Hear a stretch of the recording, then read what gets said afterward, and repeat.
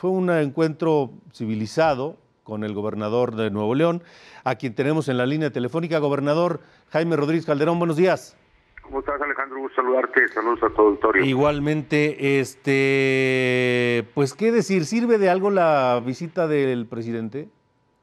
Bueno, tuve varios acuerdos. Ah. Creo que las reuniones públicas, pues evidentemente cuando se da la mañanera, pues no se dice todo, ¿no? Ajá. Simplemente se contestan las preguntas que los eh, medios de comunicación le hacen. Y normalmente siempre son de eh, corte nacional, ¿no? Sí. Hubo pocas preguntas locales. Eh, se le preguntó al presidente, bueno, yo tuve una reunión primero de seguridad con él, le expresé mi preocupación del Estado en lo que refiere al tema de del Fonden, que es demasiado burocrático y demasiado largo el camino, y siempre las familias que sufren daños, pues tardan mucho tiempo en que se les dé una respuesta. Desafortunadamente el Fonden es un organismo que se pervirtió, que se corrompió y que evidentemente hoy el presidente tiene muchas dudas sobre eso, entonces yo le aclaré que en Nuevo León nosotros hacemos las cosas bien.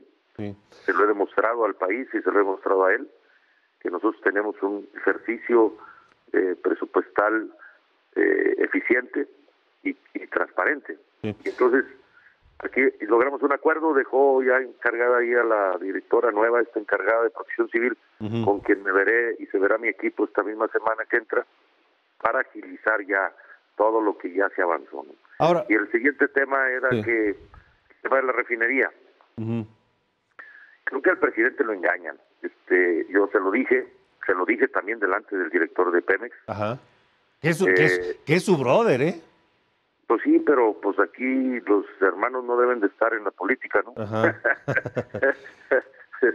ya ves cómo nos va, ¿no? Sí, sí, sí. Siempre, Siempre yo hay, tenía un siempre hay un hermano incómodo, ¿no? siempre hay, siempre hay, Sí. este, siempre hay. Entonces, eh, yo le dije al presidente que los datos que le estaban pasando en la refinería no son los datos. Ayer le pasaron unos datos de contaminación que son con la norma antigua. Mm. Y entonces, pues obviamente, yo le dije al, al director de Pemex y al que le estaba ahí platicando que no engañaran al presidente. Que si tenemos el reconocimiento de que las cosas están mal, pues las podemos arreglar, ¿no? Lo he hecho con las empresas grandes de Nuevo León, los empresarios grandotes de Nuevo León que contaminan. He tenido reuniones con ellos y lo primero que les digo es que reconozcan que tienen un problema en sus empresas y a partir de eso podemos acordar en la ley cómo podemos reducirlas. Y entonces eso es lo que le planteé al presidente. Él se comprometió, Sí. sí se comprometió a invertir en un proceso en el que se modernice la, la refinería y bajen sus niveles de contaminación de azufre. Muy bien. Oiga, gobernador, ¿y qué hay de la CONAGO? Hay varios que dicen, bueno, usted mismo lo dijo, el la CONAGO no sirve de mucho, es un club de Toby, ¿y qué? ¿Vive sus últimas horas la CONAGO? Pues no sé si la quieren conservar con algunos cuantos, ¿no? Pero yo en lo personal no asistiré más a una reunión de la CONAGO. No creo que sea conveniente para Nuevo León. Nunca ha sido. Es decir, vamos nomás a validar lo que el presidente dice. Mm. Hay un formato en el que si uno no está de acuerdo en lo que se dice, este, nadie estará de acuerdo. Es decir, es un formato muy cerrado, muy antidemocrático y el presidente va solamente a validar, eh, a acompañarnos, ¿no? Das de cuenta, pues mejor lo invitamos a una boda, ¿no? Sí. ¿Para qué estamos en...?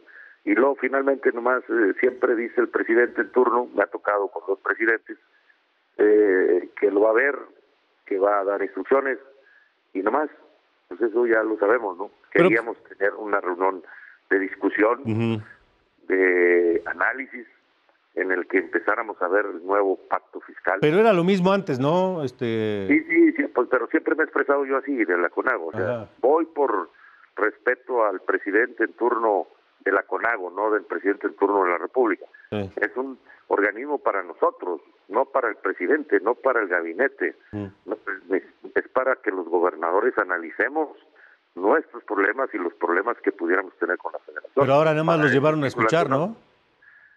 Pues sí, sí tuve la oportunidad de hablar, pero Ah. pues no hubo respuesta. Es decir, Ah. aquí es el háblale a la pared, ¿no?